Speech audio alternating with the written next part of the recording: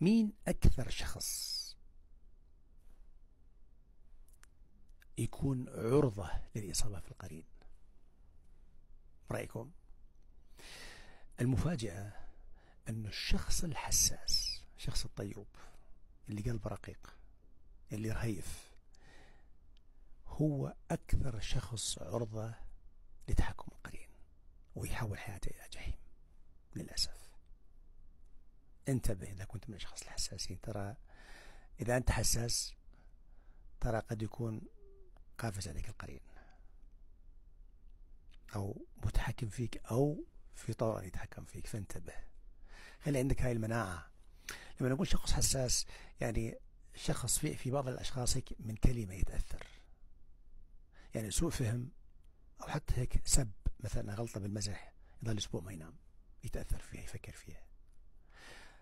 لا تكون من هذا النوع الحساس. طبعا الحسا... هاي الحساسية المفرطة أكيد جاي من منطقة صدمة. خلي بالك. يعني هذه الحساسية المفرطة هي جاية من منطقة كآلية دفاع نتيجة صدمة معينة في سر الإنسان طيوب. لأنه في في في صغرى تعرض لإساءة يعني أراد يعطي الحب أو يستقبل الحب لكن هو كل اللي حصل إساءة لفظية أو جسدية. فبالتالي لما يكبر كرد فعل عكسي لذيك الصدمة يصير طيوب حتى يعطي رسالة أنه هو محترم. شوفوني أنه أنا كويس شوفوا أنه أنا طيب. وبالتالي جاية منطقة صدمة. فهاي الطيبة الزايدة هاي الحساسية الزايدة هي جاية منطقة صدمة. مثل الشخص اللي ما عنده كمان هيك يعني إحساس كمان جاي منطقة صدمة. إحنا نريد هاي الحالة التوازن القرين اللي موجود في خارج الهالة اللي هو بس ضمن ساحة القرين الخامل أو الخامد خلينا نقول اللي هو ضمن ساحة الوسوسة العادية. إذا كنت أنت شخص حساس احذر لأنه ممكن القرين يتجاوز حدوده ويقفز إلى الرأس إلى رأسك. عند منطقة المخيخ عند لوحة التحكم في المشاعر والأفكار والجسد. خلي بالك حتى الجسد. فاحذر لأنه إذا دخل فيك القرين فأنت يعني يسبب حياتك حياتك راح تصير جحيم. يعني ممكن يوصلك للانتحار وقد تنتحر. فلأنه يسبب لك أعراض وآلام مبرحة في الجسد.